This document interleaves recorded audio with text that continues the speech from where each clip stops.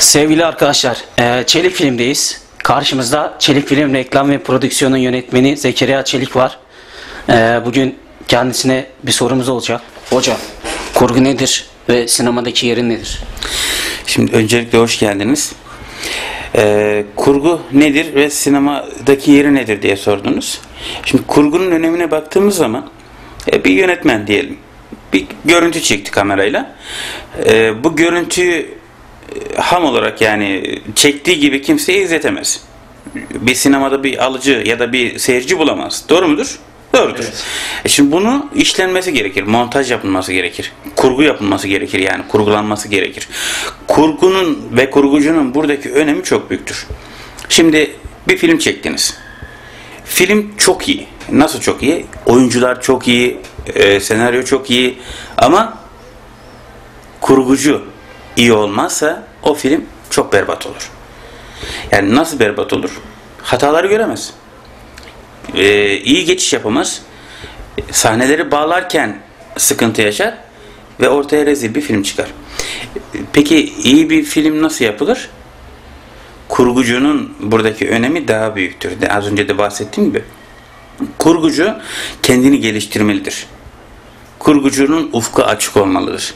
Yani yeni çıkan filmleri izleyip yeni nesle, yeni işte e, teknolojiye ayak uydurarak kendini geliştirmelidir. Yani ufku çok geniş olmalıdır bu konuda. Benim e, görüşüm, kendi şahsi görüşüm, sinemadaki kurgucunun yeri çok büyüktür. Yönetmenden sonra kurgucu gelir. Çünkü ben hem kurguculuk yapıyorum hem yönetmenlik yapıyorum. Ee, bir kurgucunun çekim esnasında sette olması gerekir. Yani tabii olabiliyorsa sette olması gerekir. Çünkü setlerde çekim yaparken sahneleri kayıt alması lazım. Not, not tutması lazım. Karşıdaki mesela bir sahnenin tekrarı yapıldı, iki yapıldı, üç yapıldı, dört yapıldı. Orada onun çok büyük bir önemi olacak. Görecek sahneyi. O sahne daha uygundur. Notunu alacak. Kurguya geçtiği zaman çok rahat edecek. Kurgu, görüntülerin ve seslerin senaryo dahilinde belli bir amaca uygun şekilde ard arda sıralanmasına denir.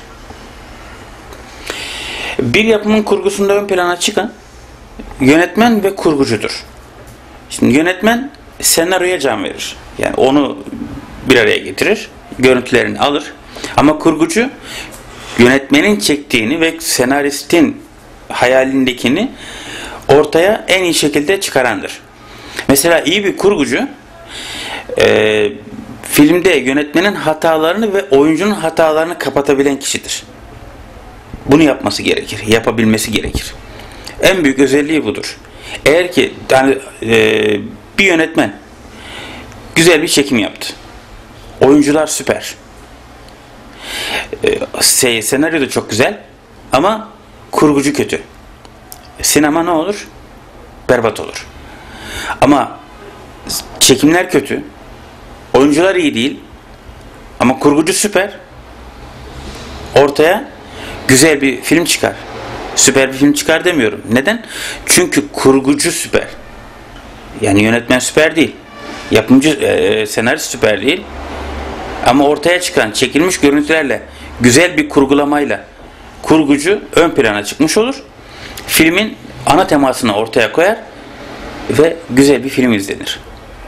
Mesela yapılan deneyler vardır daha önce. Ee, Rus sinema kuramcısı e, Lev e, Kureşev'in yaptığı bir deney vardı. Üç tane kısa film çekti. O üç kısa filmi ayrı ayrı izleyicilere izletti. Yani deneklere izletti. Bu deneklerden yorum aldı. Mesela bir tanesi e, robot gibi duran bir insan, yüzü asık e, çektiği kısa filmin. İkincisi bir çorba kasesi. Üçüncüsü bir tabut. Yanında bir kız ve kadın. Şimdi bunları birleştirip üç ayrı kısa film yaptı. İlk kısa filmi izlettiklerinde ilk kısa filmde ne vardı? Çorba, tabut ve adam vardı. Bunu izleyen kişiler şunu çıkardılar ortaya. Bu adamın yüzünde bir açlık var. Burada kurgucunun psikolojik yönünü ortaya çıkarmış oluyor. Yani kurgunun, sinemanın psikolojik yönünü keşfetmiş oluyor. Bununla da e, bize bir ufuk açmış, ufuk yani ufkumuzu açmış oluyor bununla. Çünkü oradaki en büyük etken sen kurguyu yaparken karşıdaki izleyiciyi psikolojik olarak etkileyebilmelisin. Diyelim ki bir görüntü çekiyorsunuz, bir film çekiyorsunuz. Sürekli ağlayan üç tane kadın var. Bu kadınlar sürekli ağlıyor ama. Başka hiçbir şey yok görüntüde. Bunu birine izlettiğin zaman ne hissedebilir? Hiçbir şey. Çünkü sürekli ağlayan bir insanlar var. O insanlar sürekli ağlıyor. Başka hiçbir görüntü yok. Buna bir şey çıkmaz ortaya. Ama o görüntünün içerisine kurgucu, şimdi diyelim ki yönetmen o görüntü çekti, unuttu. Tabut çekmeyi unuttu. Ya da yerde yatan kişiyi, ölen kişiyi unuttu. Siz oraya o görüntünün arasına kurgucunun orada mantığını kullanması gerekiyor. E, tabii ki. E, ekstradan bir fotoğraf. Yerde yatan ölmüş birinin fotoğrafını koyduğunu düşünelim. O kadınlar ağlıyor. Geçişle o yerde yatan cesedini görüyoruz. Tekrar ağlayanları görüyoruz. Burada izle, izleyen kişi ne hale bürünür? Psikolojikmen şey yapar. Bir üzüntüye kapılır değil mi? O üzüntüye kapılır. Çünkü orada vermek istenen olur. Kurgucu bunu yaparak kendi e, becerisini ortaya maharetini ort- ortaya koymuş olur. Peki başka bir şey diyelim. Bir görüntü çektiniz. Bu görüntüde üç tane işte sahne var. Birinci sahnede bir adam koşuyor. İkinci sahnede adam düştü. Üçüncü sahnede ağlıyor.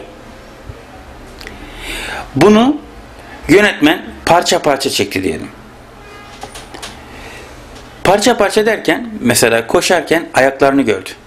Sonra yüzünü gördü. Sonra geniş açıda komple kendisini koşarken gördü oyuncunun. Bunu alıp birleştirdik. Sonra düşerken düştü, kalktı, işte ağlıyor. Ama neden ağlıyor? Onu önce bir göstermen gerekiyor. Yönetmen bunu almışsa eğer, çekmişse çok güzel yerde kurgulamak gerekiyor. Ayağını burktu, ayağını tutarak ağlaması gerekir değil mi oyuncunun? Ayağını tuttuğu yeri ayrı almışsa onu oraya güzel bir şekilde montajlaması gerekir kurgucunun. Bunu yaparsa ne olur? İzleyici istediğini vermiş olur. Bu vesileyle de yani kurgucunun önemi sinemada çok büyüktür. Bir film yaparsanız herkes izler. Bir film yaparsanız herkes izler, konuşur ve yayar. Neden bunu söyledim? Çünkü yapılan filmler vardır, film vardır. Herkes film yapabilir. Ama kurgucunun etkeni çok büyüktür. Kurgucu sinema alanında yani şu an baktığınızda gerçi her şey kurgu safhasında bitiyor ama daha önce öyle değildi. Şu an her şey kurguda bitiyor. İşte Green Box'tır, Blue Box'tır e, çekimler yapılır. Onun üzerine kurgulanır. Asıl senarist dahi kurgucudur.